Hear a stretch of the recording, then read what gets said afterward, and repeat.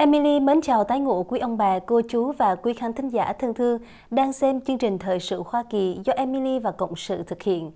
Kính chúc quý vị một ngày mới tràn đầy niềm vui, bình an và hạnh phúc.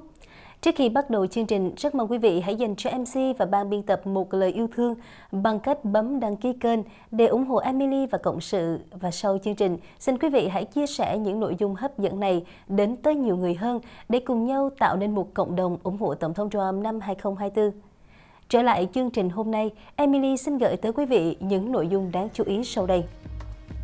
Xuất hiện diễn biến mới vụ TikTok kiện chính phủ Mỹ. Thư ký báo chí Tòa Bạch Ốc hoảng loạn buộc miệng thừa nhận phiên tòa xét xử Tổng thống Trump là cuộc săn phù thủy do Biden dẫn đầu. Úc và Mỹ trình làng tàu không người lái chiến đấu dưới biển. Mỹ và Đài Loan đã lặng lẽ tập trận hải quân chung trên Thái Bình Dương. Và sau đây là phần thông tin chi tiết.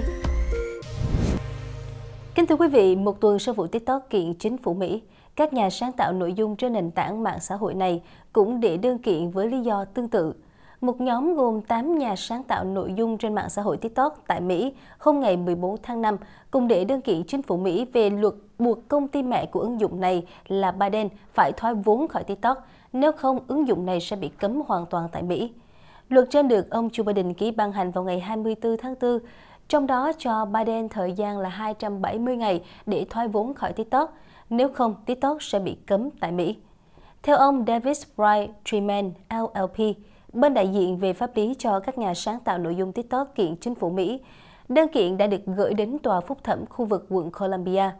Nội dung đơn kiện cho biết, mặc dù họ đến từ những nơi, ngành nghề, tầng lớp xã hội và quan điểm chính trị khác nhau, nhưng họ thống nhất quan điểm rằng TikTok cung cấp cho họ một phương tiện độc đáo và không thể thay thế để thể hiện bản thân và xây dựng cộng đồng. Các nguyên đơn cũng cho rằng đạo luật đối với TikTok của chính phủ đang đe dọa quyền tự do ngôn luận. Trong khi đó, thì một người đại diện phát ngôn của Bộ Tư pháp hôm ngày 14 tháng 5 cho biết, luật TikTok giải quyết các mối lo ngại quan trọng về an ninh quốc gia, phù hợp với tù chuyên án thứ nhất và các hiến định khác. Chúng tôi mong muốn bảo vệ luật này trước tòa. Động thái trên của các nhà sáng tạo nội dung TikTok diễn ra khoảng một tuần sau khi TikTok kiện chính phủ Mỹ với nội dung tương tự. Thư ký báo chí Tòa Bạch Ốc hoảng loạn, buộc miệng thừa nhận phiên tòa xét xử Tổng thống Trump là cuộc săn phù thủy do Biden dẫn đầu.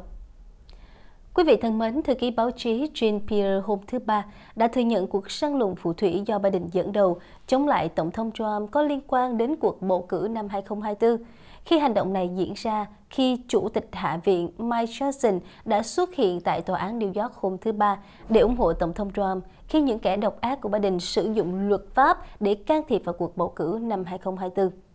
Phóng viên AP Amor Madhani đã hỏi Jean Pierre rằng liệu việc ông Mike Johnson bảo vệ Trump trước luật pháp của Biden có phù hợp hay không?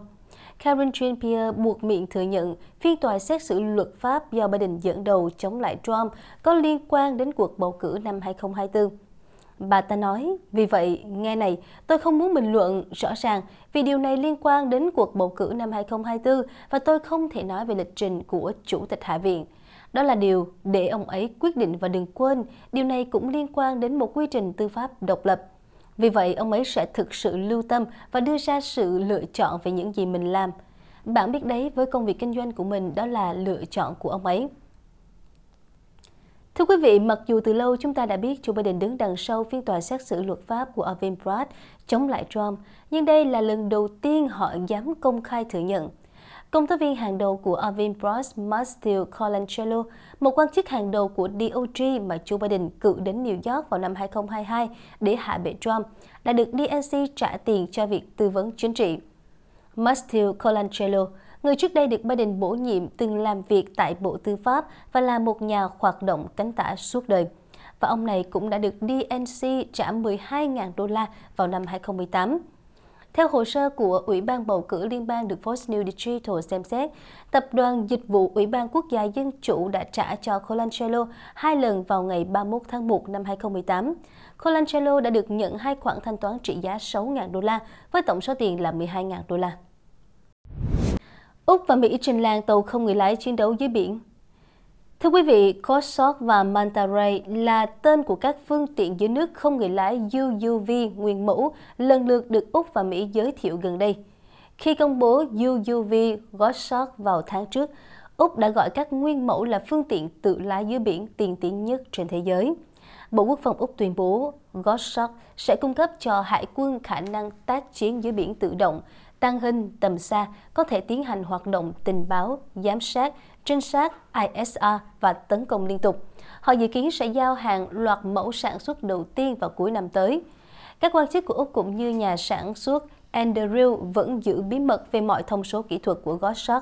Họ đánh giá cao tốc độ ra mắt UUV khi chương trình chỉ mới bắt đầu cách đây 2 năm. Bà Emma Salisbury, một thành viên tại Hội đồng Địa Chiến lược của Anh cho biết, Goshawk có vẻ giống với UUV cực lớn Orca đang được phát triển tại Mỹ. Tôi cho rằng tất cả chúng đều nhằm mục đích thực hiện các nhiệm vụ gần giống nhau như tình báo, giám sát, trinh sát và tấn công liên tục, đặc biệt là trong lĩnh vực chống tàu ngầm. Hải quân Mỹ nói rằng UUV Orca do Boeing phát triển có thể mang nhiều loại vũ khí khác nhau tùy theo nhiệm vụ hoặc được trang bị thiết bị chuyên dụng để trinh sát hoặc có thể thu thập thông tin tình báo. Ông Chris Burrows, giám đốc chiến lược của Anduril cho hay, công ty đang trong quá trình chứng minh rằng Goshawk có thể được phát triển nhanh hơn, rẻ hơn và thông minh hơn nhiều so với Orca. Công ty cho biết có được phát triển hoàn toàn trong nước sẽ sẵn sàng để xuất khẩu sau khi nhập hạm đội Hải quân Úc. Trong khi đó, ở bên kia Thái Bình Dương, Orca không phải là UUV duy nhất được phát triển tại Mỹ. UUV mới nhất của Mỹ là Manta Ray của tập đoàn Northrop Grumman, một nguyên mẫu đã được thử nghiệm tại Nam California vào tháng 2 và tháng 3. Cơ quan sản phẩm nghiên cứu quốc phòng tiên tiến DARPA cho biết, Điểm mạnh của Manta Ray nằm ở tính module, khả năng chuyển đổi trọng tải tùy theo nhiệm vụ. Theo Northrop Grumman, nó có thể được chia nhỏ và nhét vào 5 container vận chuyển tiêu chuẩn, sau đó di chuyển đến nơi sẽ được triển khai và lắp ráp tại hiện trường. Ông Kyle Warner, người đứng đầu chương trình Manta Ray tại DARPA, cho biết đây là UUV cực lớn đầu tiên có khả năng kết hợp giữa vận chuyển mô đun xuyên quốc gia, lắp ráp tại hiện trường và triển khai sau đó. DARPA sau đó được phát triển với Hải quân trong bước tiếp theo để thử nghiệm và chuyển đổi công nghệ này. Trong khi đó, thì Trung Quốc cũng đang đạt được những tiến bộ trong lĩnh vực UUV. Mặc dù thông tin chi tiết vẫn còn khan hiếm, thế nhưng Trung Quốc đã phát triển chúng trong ít nhất 15 năm và có thể hiện nay có thứ gì đó tương tự như Orca đang trong giai đoạn thử nghiệm. Theo chuyên gia về tàu ngầm High Sustain, ngoài Úc, Mỹ và Trung Quốc, các quốc gia khác đang nghiên cứu UUV bao gồm Canada, Pháp, Ấn Độ, Iran, Israel, Triều Tiên, Na Uy, Nga, Hàn Quốc, Ukraine và Vương quốc Anh. Mỹ và Đài Loan đã lặng lẽ tập trận hải quân chung trên Thái Bình Dương. Thưa quý vị, theo Reuters dẫn một số nguồn tin riêng cho biết, Hải quân Mỹ và Đài Loan hồi tháng 4 đã tập trận chung trên Thái Bình Dương nhưng không loan báo chính thức. Cuộc tập trận chung của Hải quân hai nước Mỹ và Đài Loan đã diễn ra vào tháng 4 trên Tây Thái Bình Dương. Nhiều khí tài quân sự đã được sử dụng trong cuộc tập trận này và cuộc tập trận này đã không được chính thức loan báo diễn ra và được gọi là các cuộc chạm trán trên biển không lên kế hoạch trước hai bên thỏa thuận ngầm để cùng tuyên bố rằng các màn diễn tập đó chỉ đơn thuần là do chạm trán tình cờ. Có khoảng gần 10 tàu hải quân của cả Mỹ và Đài Loan, trong đó có các tàu khu trục nhỏ, các tàu tiếp tế và hỗ trợ đã tham gia vào các màn diễn tập kéo dài nhiều ngày. Những màn tập trận này được thiết kế để thực hành các hoạt động cơ bản, chẳng hạn như là trao đổi thông tin, tiếp nhiên liệu và tái tiếp tế. Hải quân Đài Loan nói trong một tuyên bố gửi Reuters rằng để xử lý các kịch bản bất ngờ trên biển và để giảm thiểu xâm phạm nhau thì Hải quân hành động phù hợp với quy tắc chạm trán bất ngờ trên biển CUES. CUES là bộ quy tắc do Mỹ thúc đẩy từ thập kỷ trước nhằm giúp giảm căng thẳng giữa các quân đội trên biển, cung cấp những hướng dẫn về chẳng hạn như tốc độ và khoảng cách an toàn, ngôn ngữ liên lạc chung và những hành động cần tiến hành nếu một tàu bị ngừng hoạt động. Tuyên bố của Đài Loan gửi Reuters cho hay, Hải quân Đài Loan thường liên lạc với các tàu của các quốc gia khác và tiến hành các màn diễn tập chạm trán khi cần. Một nguồn tin thứ ba nói rằng mặc dù các cuộc chạm trán tình cờ này của hải quân hai nước hầu hết là các màn diễn tập cơ bản, những cuộc tập dượt như vậy là rất quan trọng để đảm bảo chắc chắn hải quân hai bên có thể hoạt động cùng nhau trong các tình huống khẩn cấp. Hải quân hai nước Mỹ và Đài Loan đã thực hành nhiều màn diễn tập chiến thuật, trong đó có hoạt động tìm kiếm các mục tiêu dưới nước. Những thông tin vừa rồi đã khép lại bản tin ngày hôm nay do Emily và Cộng sự thực hiện. Cảm ơn quý vị đã quan tâm theo dõi. Xin kính chào tạm biệt và hẹn gặp lại quý vị trong những bản tin tiếp theo được phát sóng hàng ngày trên kênh BTV Epoch Time.